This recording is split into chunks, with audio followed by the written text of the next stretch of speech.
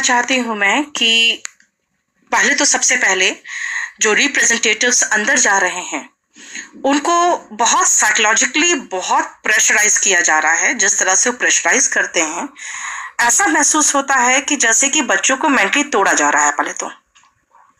ये बच्चे बहुत समझदार है, बहुत समझदार है, और ये जब बच्चे अंदर गए हैं तो उनको यही कहा गया है डीओपीटी में कि अगर उनके खिलाफ सबूत मिल गया खुराना साहब के खिलाफ। तो उनको अंदर करेंगे, अगर नहीं मिलता है तो तुम लोग पाँचों को हम हथकड़ी लगाएँगे। तो मुझे नहीं समझ में आता है कि बच्चे अगर अपने हक की लड़ाई लड़ रहे हैं तो इस तरह से साइकोलॉजिकली तोड़ने का क्या मतलब बनता है उनको? दूसरी बात है कि अब उन्हें कहा जा रहा है कि 21 तारीख का जो पेपर है, पहले उसकी की मिलाई जा रही है, जो पेपर हुआ है उससे। और अगर वो पेपर मिल गया तो उनका कहना है कि हम सीबीआई इंक्वायरी की जाँच की इंक्वायरी की सीबीआई का इंक्वायरी का ऑर्डर दे देंगे। और अगर नहीं मिलता है तो फिर क्राइम ब्रांच इसका इन्वेस्टिगेशन करेगा। कोई पेपर कैंसिल नहीं होगा और कोई भी री एग्ज़ाम नहीं होगा। तो अभी फ़िलहाल सब लोग इंतज़ार कर रहे हैं। हालाँकि उनका कहना था कि ये आधे घंटे में खत्म हो जाएगा। लेकिन आधे घंटे में कुछ भी खत्म नहीं हुआ है। तकरीबन डेढ़ घंटा हो गया है वो पेपर मार्च की जा रही है।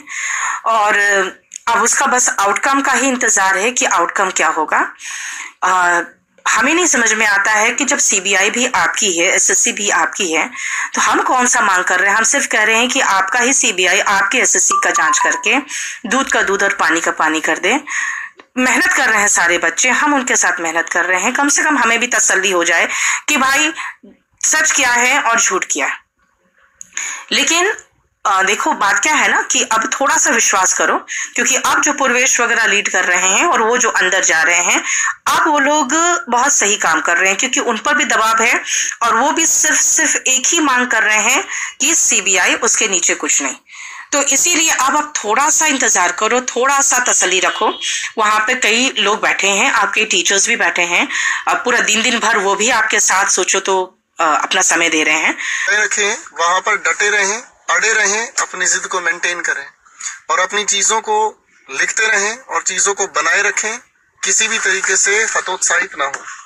मैं अभी नेशनल हाईवे पर हूँ और जल्दी ही मैं आपके पास, वहाँ पर आपके पास आऊँगा, आपके सामने खड़ा हूँगा और आपके साथ खड़ा हूँगा इस चीज़ की चिंता आप बिल्कुल छोड़ दें, आपके साथ कोई नहीं है, आपके साथ हम सब हैं। हम शिक्षक हैं, सिर्फ़ आप ही की वजह से और आप ही की वजह से हम सब का घर परिवार, हमारी रोजी रोटी चलती है। हमारा पहला हमारा पहला ऑब्जेक्टिव आपके सिलेक्शन के लिए है। हम जल्दी ही, रोशन बेटा बिल्कुल ठीक है, मैं बिल्कुल अभी रास्ते में हूँ और आप देख सकते हैं मैं भी गाड़ी में हूँ और ये नेशनल हाईवे पर मैं हूँ।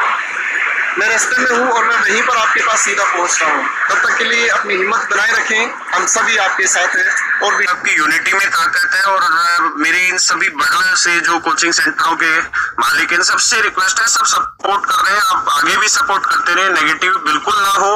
अगर हम कहीं पे गलत है, बच्चे कहीं पे गलत है, आप अपनी सलाह देते रहे, हम उसे स्वीकार करते रहेंगे। मैं काउंटर करूँ चीज़ों पे, वो बिल्कुल शोभा नहीं देगा, क्योंकि बच्चों का आंदोलन है, बहुत साफ़ सुथरा बना रहे, उसी में मज़ा है। बेटा, सिर्फ़ सीबीआई पे अड़े रहिए, किसी को नेता मत बनाइए। कल बच्चे मुझे बता रहे थे कि जब बच्चे ऑफ़िस में गए तो उनका कुछ और रुख था, आए तब कुछ वो बदल गए। तो अगर ऐसी चीज़ें हो रही है तो मेरी तरफ़ से एक सलाह है, मैं आई रहा हूँ आज और हम पूरा सपोर्ट कर रहे हैं, कल से भी बड़े लेवल पे सपोर्ट कर रहे हैं। अब करें क्या कि वहाँ पे डिमांड ये भी कि हम जितने भी अधिकारी हैं मंत्री उनसे वीडियो कॉन्फ्रेंसिंग पे बात करना चाहते हैं, इसी पब्लिक के बीच में। और अगर वो इस बात को नहीं मानते तो एक ये रखिए कि जो भी उनसे मिलने जाएगा, वो रिकॉर्डिंग करके लाएगा सारी चीज़ों की ओपनली रिकॉर्डिंग है। अगर वो रिकॉर्डिंग के लिए एग्री होते हैं तो बात करेंगे अदरवाइज़ नहीं। आराम से आपकी सपोर्ट है, बहुत सही जा रहे हैं आप, और आपको जान के खुशी होगी। इस समय बहुत सारे लोग ऐसे हैं बड़े बड़े पॉलिटिशियन जिन्होंने सपोर्ट कर दिया है। तो बहुत अच्छा माहौल जा रहा है सीबीआई मस्ट है, और किसी की छोटी चीज़ पे बिल्कुल नहीं जाना। हम लोग सब आपके साथ हैं और ये आंदोलन आपके कंधों पे खड़ा हुआ है। बहुत सारे ऐसे बच्चे जो रात को भूखे भी सो रहे हैं, पानी पी के भी सो रहे हैं अरेंजमेंट नहीं हो पा रहा था चीज़ों का। बहुत बढ़िया जा रहा है। भगवान आप सबको कामयाबी दे, आप सब कामयाब होंगे। किसी के नेगेटिव विचारों पे मत जाइए और जो यहाँ पे बोलने वाले वो भी बहुत अच्छे हैं। उन्होंने भी बड़ी हेल्प की है। वो उन्होंने